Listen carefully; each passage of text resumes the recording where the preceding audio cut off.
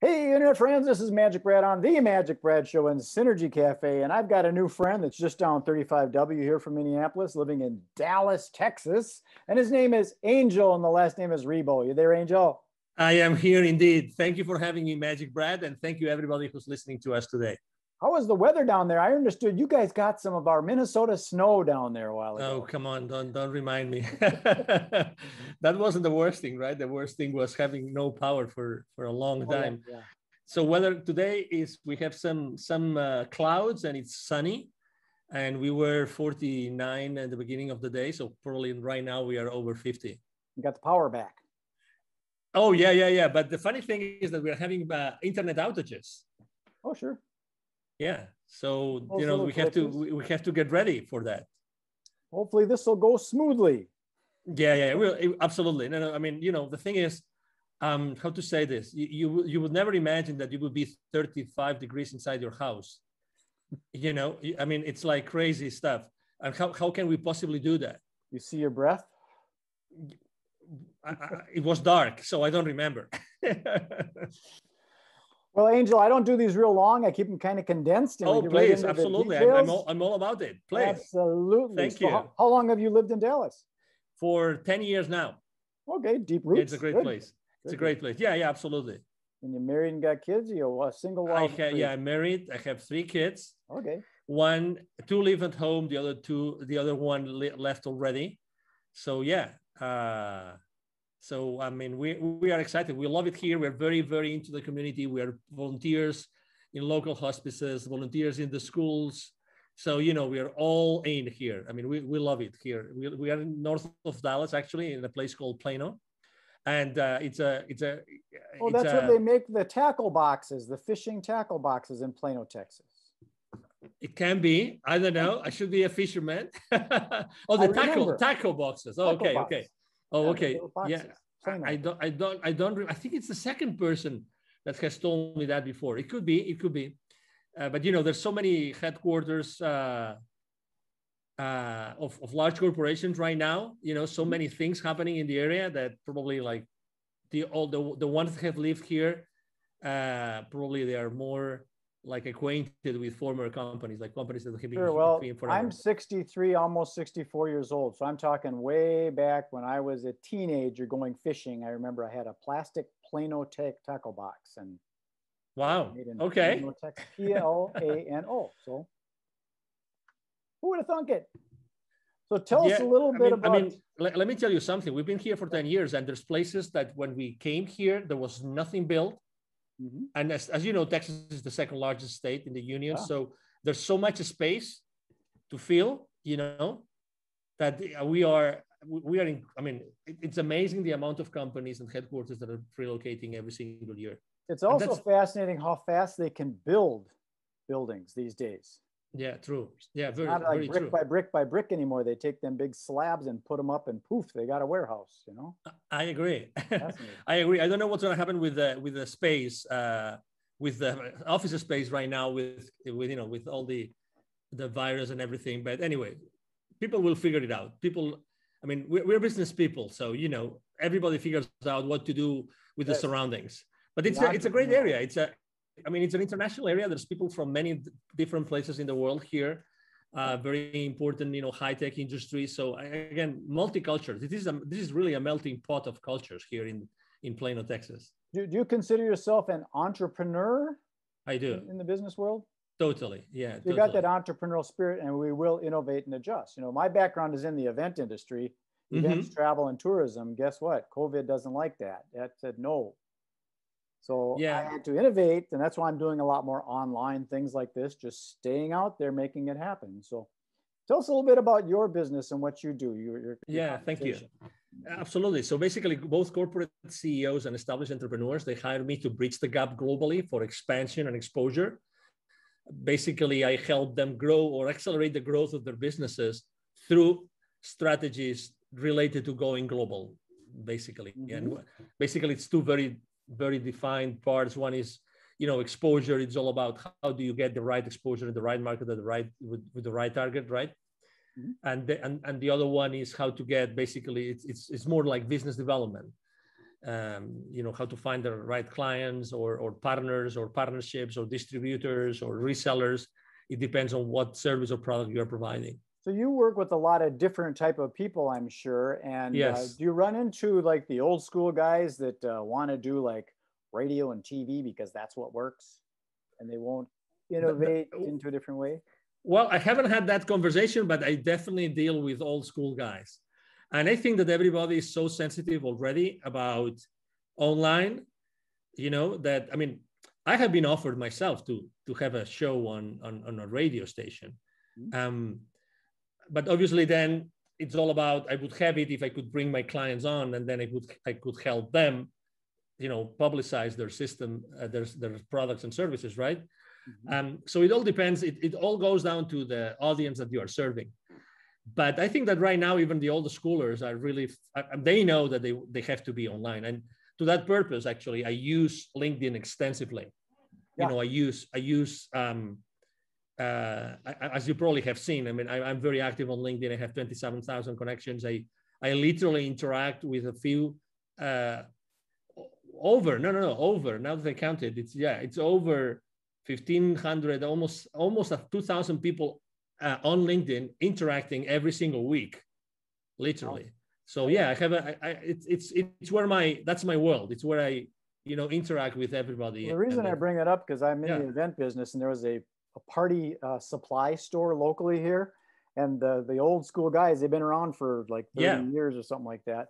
They wanted to do radio ads. They didn't really want to put money into this social media thing because they wanted to do the old radio and um, you could take that money and you can really put it into a much better place online these days when you get when you understand that kind of thing some don't but it's a it's a great way of thinking still because human so the, the question that i like i'm not the person that asks can we do this or can we do that like you know uh, close-ended questions mm-hmm. i'm more the kind of guy that asks my clients my partners uh, i ask how can we how can we? Yeah. And I think that at the end of the day, the main reason why they wanted to be on radio shows or, on, let's say the typical, the classic radio, is because of the human touch. And uh, for instance, the other day I was having a conversation with an entrepreneur. He wanted me to help her launch a show online. And actually, we ended up thinking of how do we make this show online as, as the old radio shows in which people wanted to they would never miss the show. They have it, they already knew at what time it was every single week. Right. And they wanted to be there and they wanted to make phone calls to the show and actually ask them questions live, you know, right. these kind of things. You know, and then the radio shows were many different things, but number one, they were they were informative, but more importantly, they would accompany you, right? They, they would be your your your buddies, your buddies. You know what I mean? you if, if you felt kind of alone or you didn't know what to do you, you would go to those programs because you would you like the host or co-hosts right and it, it's a place where you wanted to be heard and you were sure. curious about the questions of others you know so if, if you realize this it's like how do you keep the human connection alive having an, an online interaction that's the question i'm answering myself right. for my clients every single day. That's exactly what I do. yeah, it's it's the human engagement and like you said, the Q and A kind of thing where you're actually talking and solving problems, and so it might be more applicable. So it's always good to ask those open-ended questions: the who, what, where, when, how, why, to get information in rather than saying this is the way it should be. Yes, sir. Exactly. Yeah. Are there any specific niches that you work in? Do you work in like that's a great question. Real estate. To be yeah, that's a great question. To be honest, as I historically I was working with literally every single industry. Today, it's it's more related to the mindset of the owner, CEO, entrepreneur, more than to any industry. I I, I really don't think there's any industry I have I have not worked. To be to be honest, so you prefer to work with the owner operator rather than going through the red tape of the committee and the board and all that kind of stuff. Eh, no, that's a great question. Again, eh, no, I don't mind because I'm I'm good like I'm good physically. Let's say I, I like to have the face to face, you know. Yeah. So so that's where I am really, I mean, if, if I may say, right, humbly speaking, good at.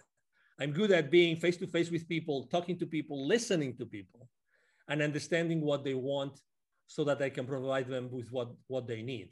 You know, so um, to your question, I really like when there's a structure already in place because that makes things easier.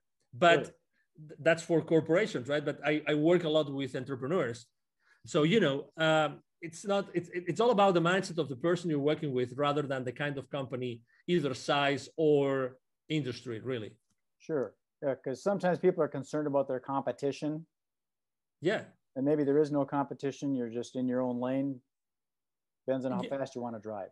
But yeah, but and that's one of the reasons why, for instance, last year here in the in the Dallas uh, business arena, I was helping a, uh, an accelerator with their entrepreneurs and startup owners, and we did a couple of webinars throughout the year last year about pivoting in times of crisis. And a lot of entrepreneurs, while pivoting, is like you are starting over your business, right? Somehow. So they were afraid of, oh, is there competition or, or there is no competition?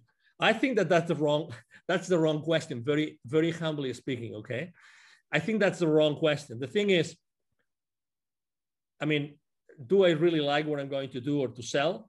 Mm-hmm. Do I do I have the expertise? Uh, is there an audience for this? And are they going to pay for it? If you are able to answer those four questions, then the competition really becomes irrelevant. Because right. if you're able to do yourself, you're, you're able to do something better than the competition, if there's competition, then you're going to thrive. So the question is rather not if there's competition, is how can I differentiate myself? And again, I also believe that the same way I told you before that I don't pick like industries or I don't pick uh, you know size company sizes or you know profiles i pick mindset i think it's the exact same way. I think that even if you provide the same service as someone else i think that you are going to be you, there's still going to be an audience because people will like you as opposed to someone else. You know what i, I mean? agree. i agree. So so let's say you and i we both provide the same service. By nature by nature there's going to be people that naturally will be attracted to you and other will be attracted to me. Sure. just because of who you are even because of your physical appearance the way you speak your accent. I mean there's so many variables. I mean your experience in life right? But there's so many things. I agree. So that's why that's why i think that it's it all depends on how badly you want to do this you know?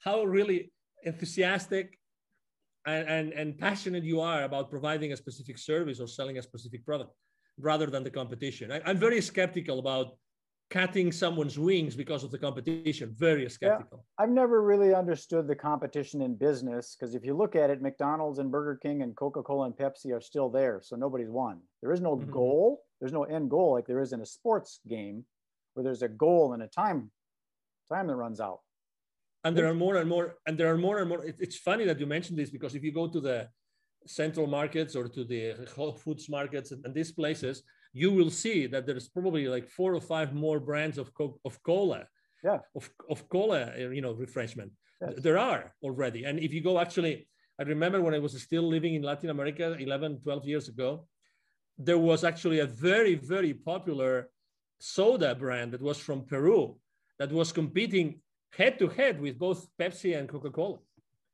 and that was again 12 years ago and they started I'm, 20 plus i'm in ago. agreement with that. I think it's uh i mean if your mother and father competed you wouldn't be here. Exactly. You got to work which, together.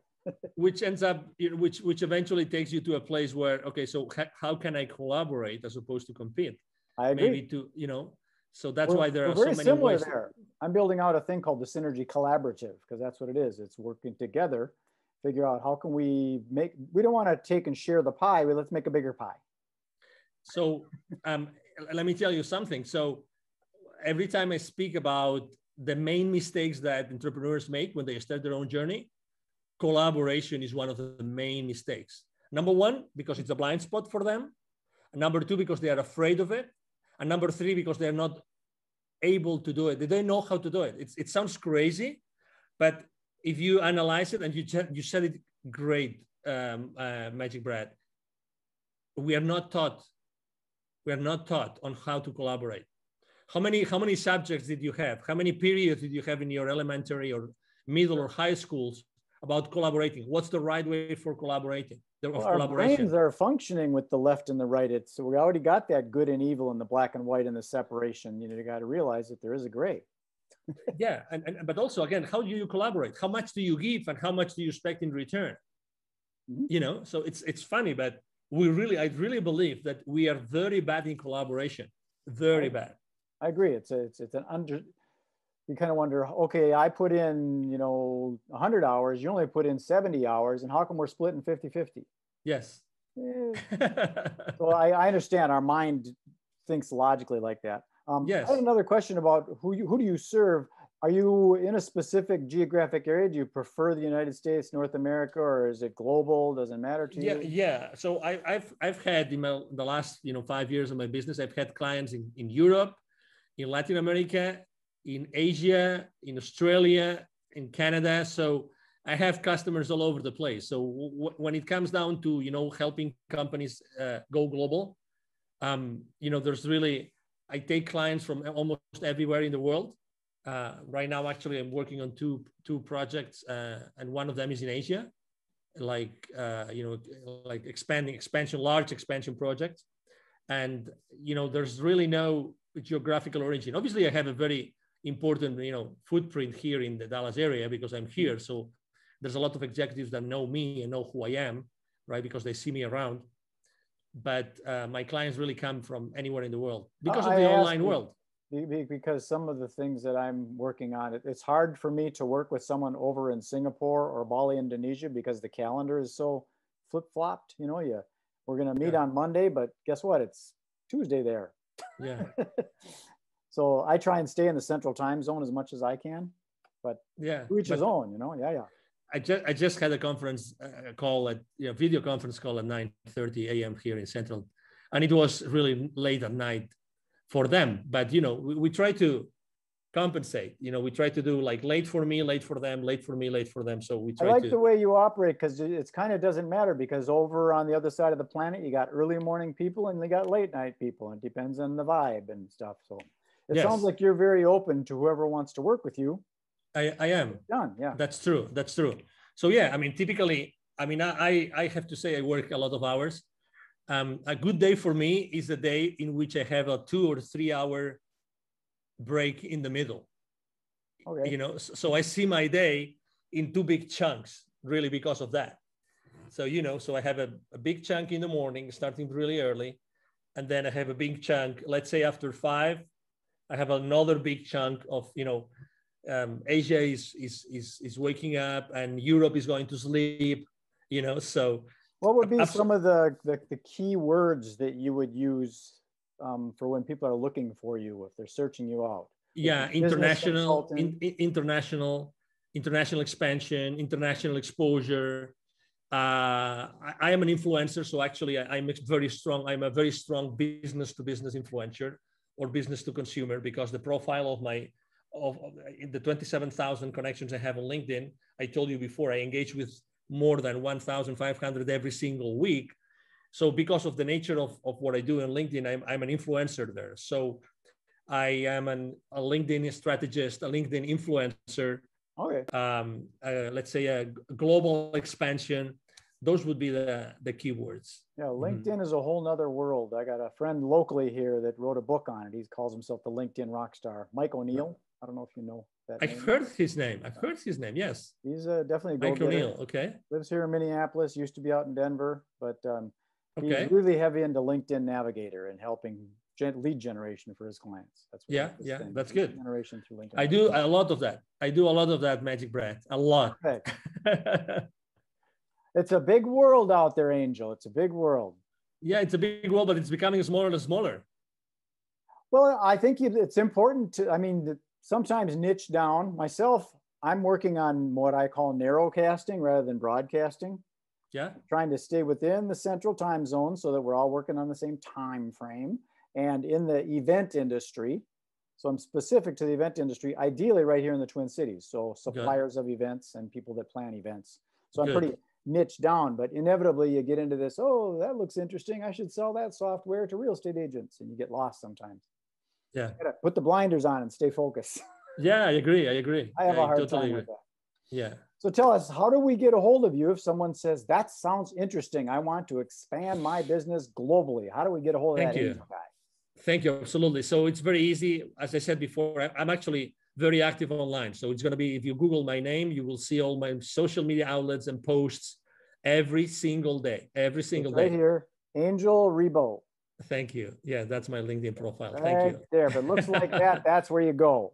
Exactly. Thank Alrighty. you. Well, so you can go to LinkedIn and and uh, but the easiest way to reach out to me directly is through my email address. Every single day, I answer every single message. I have a team behind me.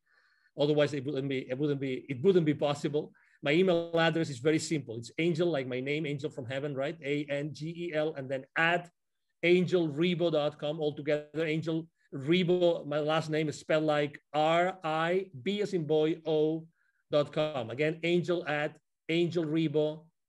dot com. That is easy. Four letters, Ribo. Yeah, very easy. Very easy. well, Angel, I'm going to sign this off and then beam it up Thank to the universe and propagate it out to that Thank global you. international world. And we'll see if we can hook some fish. Magic Brad, it's been a pleasure to be here. Thank you for the opportunity to be, you know, in front of your audience and to be able to have this uh, conversation. I really liked it and enjoyed it. As you yes. said, it's, it's very natural. I think that it's it's people are really want to want to see like or listen to authentic conversations with no, you know, no hidden agendas nor anything. Just being yourself and myself and being ourselves here, trying to inspire and everybody listening to us. Obviously, thank you very much for being with us today. I agree. I think a lot of the business gets closed on the golf course or you know at the at the watering hole as opposed to in the seminar room. Uh, I agree. okay, Angel. Thank you very much. Be well. Thank please. you. You have a good day.